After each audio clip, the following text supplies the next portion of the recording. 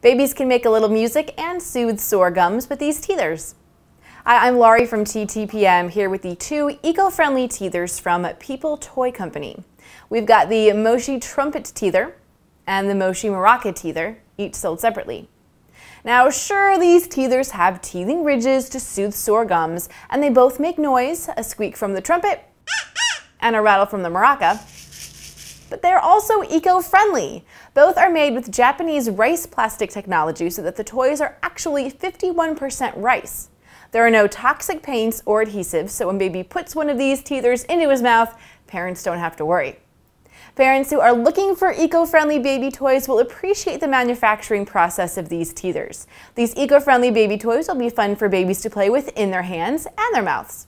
Both are ideal for teething babies ages 3 months and up.